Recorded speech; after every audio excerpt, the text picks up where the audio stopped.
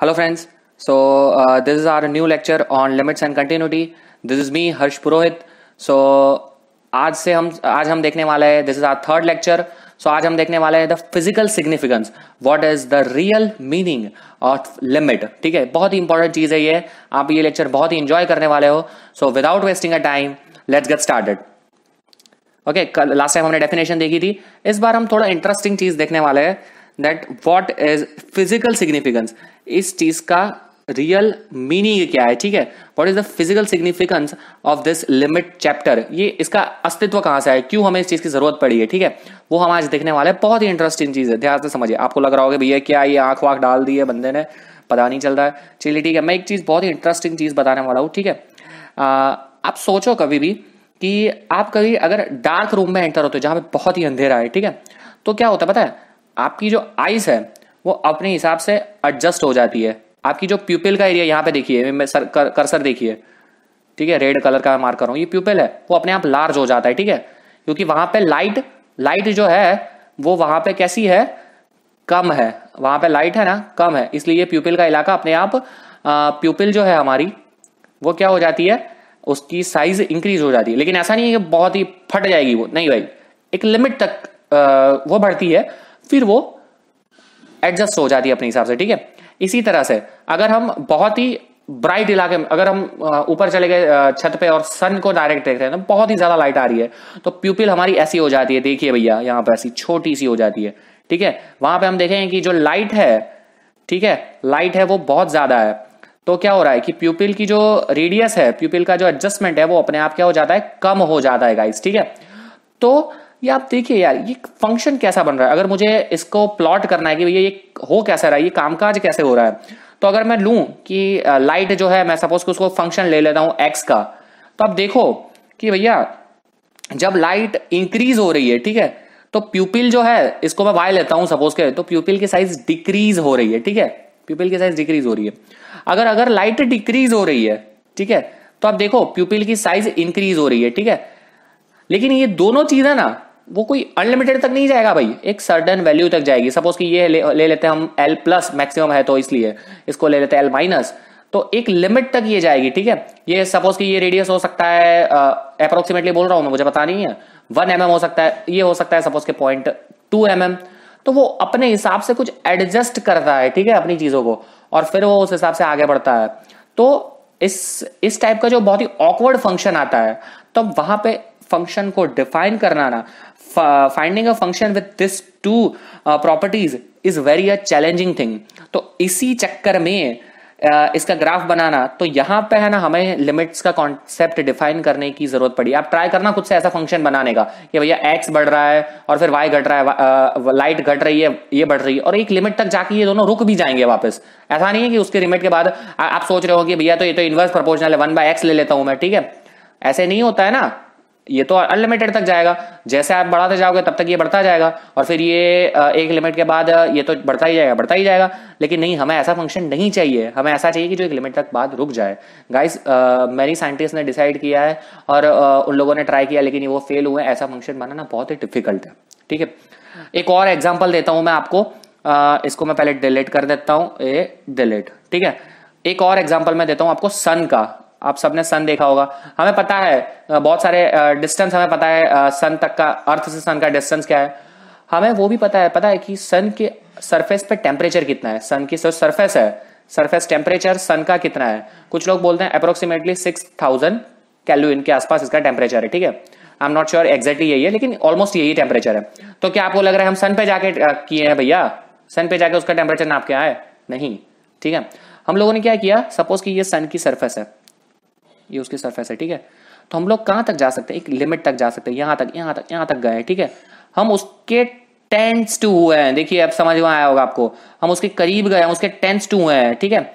हम उसके बहुत करीब तक गए हैं। लेकिन हम सन पे पहुँचे हैं क्या? नहीं। लेकिन हम ऐसा अज्यूम कर सकते हैं कि सन का, और ये बहुत ही नज़दीक है हम, ठीक है? तो उसका टेम्परेचर डिफरेंस बहुत ही मिनिमम होगा। ये जो इन दोनों के बीच का जो ये डिफरेंस दिख रहा है ना आपको मैं इसके एक और कलर से दिखाता हूँ, आपको ग्रीन कलर लेते हैं, चलिए। ये जो आपको दिख रहा है, ये डिफरेंस ये डिफरेंस ये डिफरेंस इसमें जो टेम्परेचर डिफरेंस होगा, वो बहुत ही लेस होगा, बहुत ही छोटू छोटू छोटू, बहुत ही लेस होगा। तो हम उसको अवॉइड कर सकते हैं, हम डिसाइड कर सकते हैं, भाई सरफेस का सन का सरफेस का टेम्परेचर भी यही होगा। यही पद्धति होती है, यही मेथड है, और यही हम फॉलो करते हैं बहुत साल से। इसी के ऊपर से लिमिट डिफाइन हुआ है। बहुत ही इंटरेस्टिंग चीज़ बताने वाला होगा, इस ध्यान से समझिएगा ठीक है?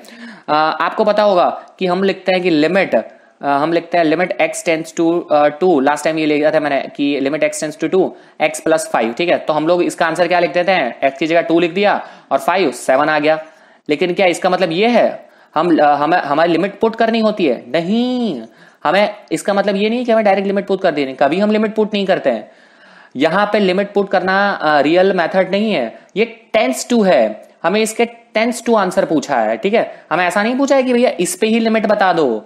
इस पे हम लिमिट ये सेवन हम किस तरह से डिफाइन करते हैं? अगर आप 1.9999 पुट करोगे, या फिर आप 2.001001 पुट करोगे ना तो आपको जो आंसर मिलेगा वो सेवन के बहुत, जो सेवन होता है, उसके बहुत ही करीब का मिलेगा seven point zero zero one something कुछ आंसर मिलेगा।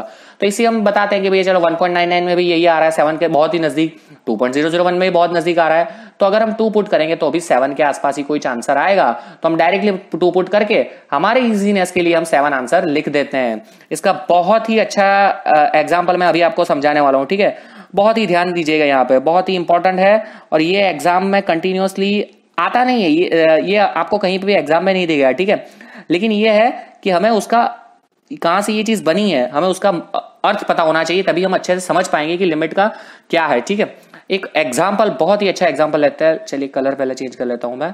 हम एग्ज़ाम्पल ले रहे हैं यहाँ पे कि limit x tends to two two की तरफ़ वो टेंस कर रहा है x square minus four divide by x minus two ठीक है? तो अब देखो, अब आओ, चलो। अब यहाँ पे टू पुट करो। तो टू पुट करोगे तो क्या हो जाएगा? ऊपर क्या हो जाएगा? Two square four four minus four zero नीचे हो जाएगा टू माइनस टू ज़ीरो भाई, ये तो ज़ीरो बाय ज़ीरो ये तो डिफाइन ही नहीं है।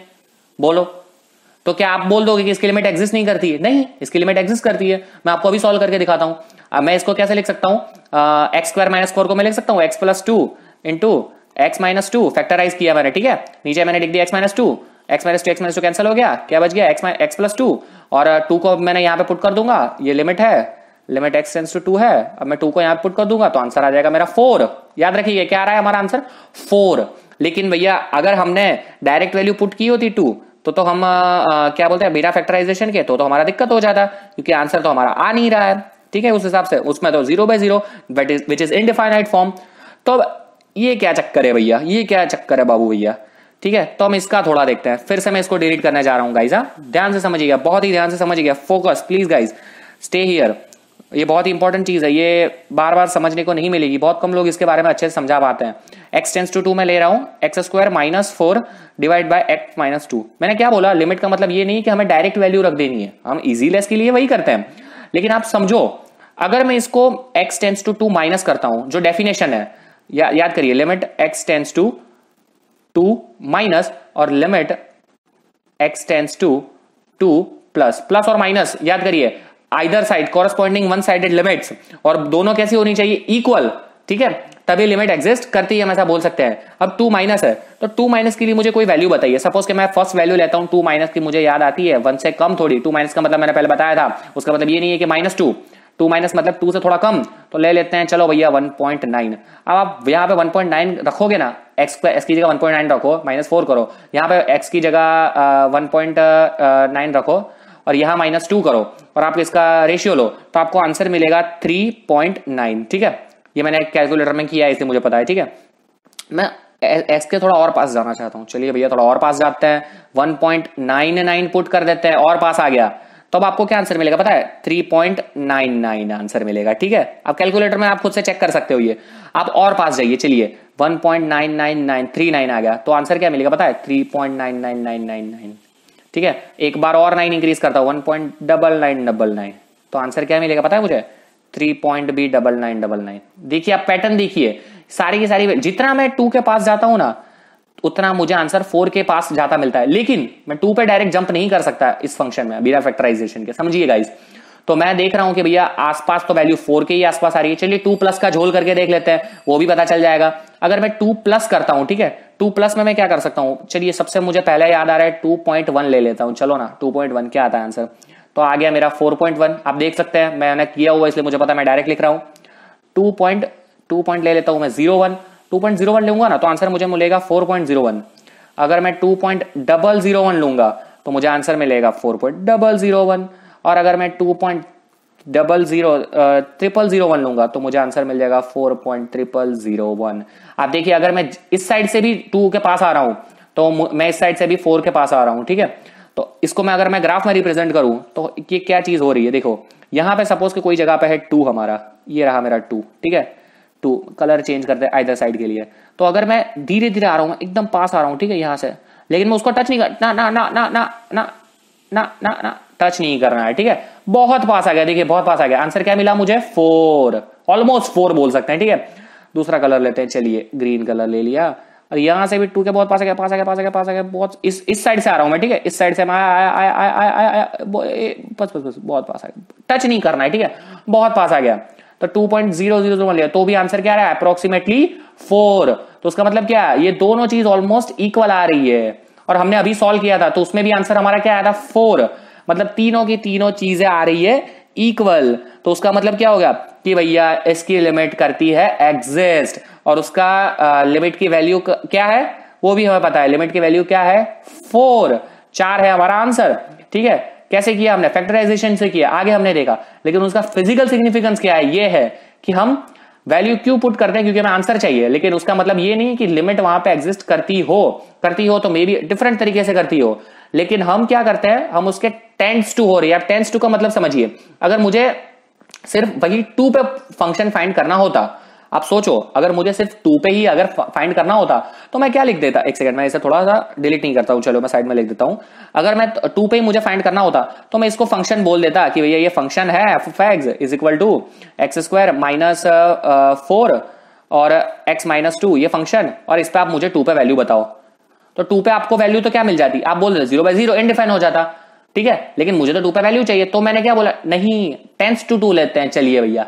टेंस टू टू बता दो। तो टेंस टू टू में क्या आंसर आया? हमारा फोर चारों की चारों वैल्यू इक्वल हो रही है। चारों के चारों तरीके से हमें अलग अलग चीज़ें मिल रही है। ठीक है? चारों के चारों मतलब तीन तरीके। X tends to two minus x tends to two plus और ऑन द टू मतलब यहाँ पे बैठ के ये टू है हमारा। ये भैया हमारा टू है। तो टू पे मैं बैठूँगा। पीछे मुड़ा मुँह। मैं आगे मुड़ा। पीछे मुड़ा, आगे मुड़ा आगे मुड़ा, पीछे मुड़ा। दोनों जगह से मुझे आंसर तो क्या ही मिल रहा है? टू। सॉरी आंसर तो क्या मिल रहा है? फोर। मतलब पीछे देखने पे, आगे देखने पे, और वो पॉइंट पे देखने पे। हर जगह आंसर मेरा आ रहा है फोर। ठीक है? ऐसा ही बहुत एक इंटरेस्टिंग एग्जांपल लेते हैं हम लोग। इससे इसको पूरा मैं डिलीट कर देता हूँ। ये हो गया मेरा डिलीट ठीक है? चलिए, फिर से मैं ले लेता हूँ एक रेड कलर तो पहले रेड कलर मुझे हमेशा अच्छा लगता है, इसलिए। चलिए तो लिमिट एक्स टेंस टू मैंने ले लिया टू और फ़ंक्शन इस बार हम कुछ इंटरेस्टिंग लेते हैं. X square minus five divide by x minus two ये हमारा फ़ंक्शन हो गया, ठीक है?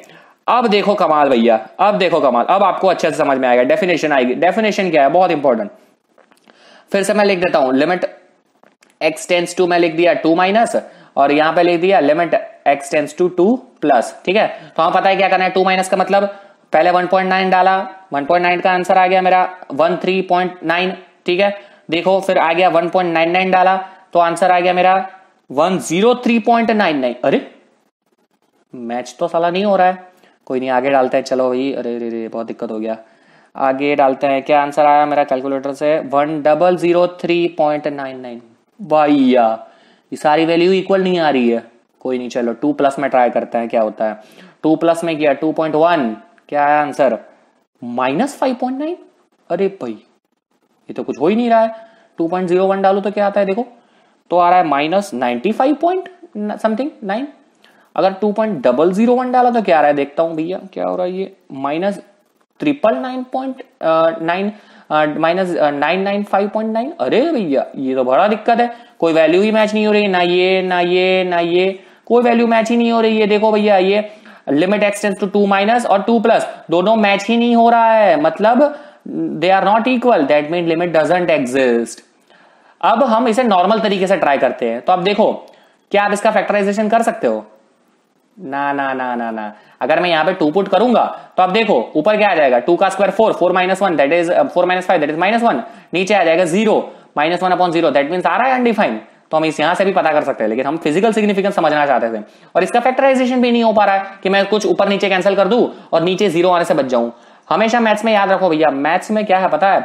नीचे ज़ीरो से बड़ा दिक्कत है। नीचे ज़ीरो आएगा, डिनोमिनेटर में ज़ीरो आएगा, छेद में ज़ीरो आएगा तो बड़ा दिक्कत है। इससे हमें बचना है, इससे बचना है, इससे बचना है। तो कुछ भी कैंसिल करके कुछ भी जोल झाल करके नीचे ज़ीरो ना आए तो वो करना है। तो उसके लिए क्या करना चाहिए हमें? फैक्टराइजेशन से करना पड़ेगा, या प्लस और माइनस से मल्टीप्लाई करना पड़ेगा। बहुत सारी पद्धति है, बहुत सारी मेथड है। सारी की सारी हम जांचेंगे, सारी सारी हम देखेंगे। नेक्स्ट टाइम से हम डिफरेंट डिफरेंट धीरे धीरे धीरे धीरे धीरे आगे बढ़ेंगे। प्रॉपर्टीज़ देखते जाएँगे क्या क्या है क्या क्या फंडे हैं। वो सब देखते जाएँगे और धीरे धीरे हम न्यूमेरिकल्स में आगे बढ़ेंगे ठीक है? धीरे धीरे स्टार्ट करना है और एडवांस लेवल तक जाना है ठीक है? सो so, यहाँ पे हम फ़िज़िकल सिग्निफिकेंस का मीनिंग हम समाप्त करते हैं। आई होप कि आप सबको ये लेक्चर बहुत ही पसंद आया होगा। Thank you so much for watching this video please like share and comment share करोगे जितने ज़्यादा लोगों तक पहुंचाएँगे उन सबका उन सबको ये नॉलेज मिलेगा ठीक है? तो ये बहुत ही ज़रूरी है कि आप सबको शेयर करिए ये। This is very very important हर हर एक को शेयर करना बहुत ही ज़रूरी होता है ठीक है? so please guys do share this video and comment. Thank you so much.